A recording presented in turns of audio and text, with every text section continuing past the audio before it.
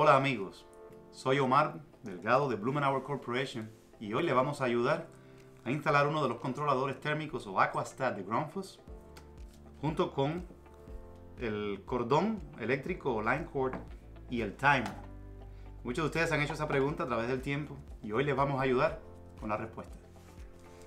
Muy bien, estos son los accesorios que nuevamente utilizaremos en una bomba de circulación, que puede ser cualquiera de ellas. Tenemos el paquete que viene con el Aquastat o controlador térmico. El número de parte de Grundfos, como ustedes pueden ver, es 595443. Aquí está el timer, que es el número de parte 599383 y por supuesto el cable eléctrico. Le vamos a enseñar ahora cómo conectar primero el Aquastat y después el timer. Y así tienen una idea general de lo que estamos hablando. Muy bien, comenzaremos primero con remover esta tapa eléctrica de la bomba de circulación. Usted encontrará que viene normalmente con este paquetico, con unos tornillos. Por favor, no pierdan eso, esto es bien importante. Y bueno, lo que usted puede ver, muy sencillo, tres conectores donde vamos a estar pues poniendo el cableado. Eh, como dijimos, vamos a empezar con el Aquastat. Y los componentes vienen en este paquete que ya habíamos mencionado. Usted verá que, verá que viene este romes eléctrico.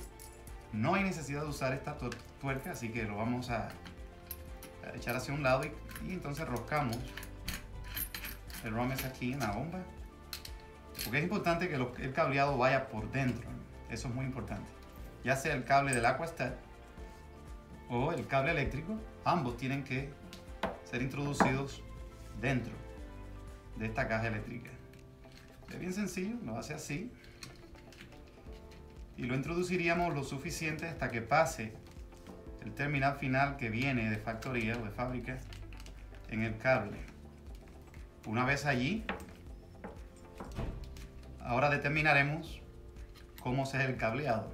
Y presten mucha atención, yo sé que esta es una de sus preguntas más importantes. Como ustedes pueden ver, el Aquastat viene solamente con dos cables, dos líneas. Uno negro, caliente o fase, y el blanco, que es neutro. El cable eléctrico viene con tres, y la única diferencia es que viene con el ground o tierra, que también tendremos que conectar. ¿Cómo conectamos esto, amigos? Muy sencillo. La sugerencia es utilizar uno de los dos colores y invertidos unirlos. Y la razón es muy sencilla. En el mundo eléctrico es importante que los cables definan o determinen su posición. En el paquete viene este bloque eléctrico o tuerca eléctrica que también utilizaremos. Una vez conectado, blanco y negro, que estamos interrumpiendo una de las fases, ya lo otro es sencillo.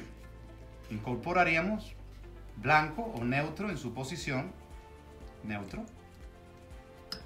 Lo introduciríamos todo lo suficiente hacia abajo a su preferencia. Negro, que viene inclusive del cable, del cable del Aquastat. Pondríamos en la línea o fase L. Y ya lo que nos queda restante nada más sería el brown.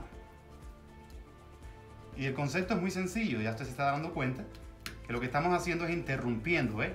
con el Aquastat el sistema eléctrico, circuito eléctrico de la bomba. Una vez hecho ello, esto Ponemos la tapa que tiene solamente una sola posición en su lugar. Y lo vamos a ajustar con los tornillitos que es muy importante no perder. ¿eh? Una vez hecho eso, ya tenemos el cableado completado con el Aquastat.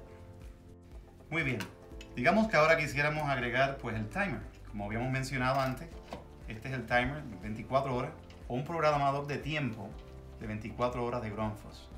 Muy, muy sencillo amigos nuevamente a remover su tapa, desconecte los cables blanco y negro, su neutro y su, su fase o corriente caliente. Y no haga más nada, ya lo otro está conectado, lo hemos adelantado. Muy sencillo. Ustedes observan, en el timer vienen estos dos cables amarillos, que serán los que estarán interrumpiendo la línea. Estos otros dos azules ya vienen preparados para que usted conecte eh, este cableado directo a ellos. Mire qué sencillo, solamente cualquiera de los dos, ya sea blanco o negro, lo instala en uno de estos conectores y los otros dos amarillos irían de vuelta a nuestros conectores de la bomba. Debo enseñarles cómo es. Cogemos cualquiera,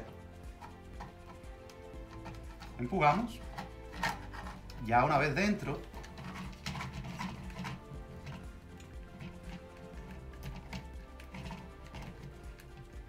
está bien ahí. Hemos conectado la línea y ahora nos preocuparíamos por conectar de regreso. Importante ponerlo bien hacia adentro. Conectaríamos uno al, al neutro y el otro a su línea o fase. ¿Ves? Sencillo.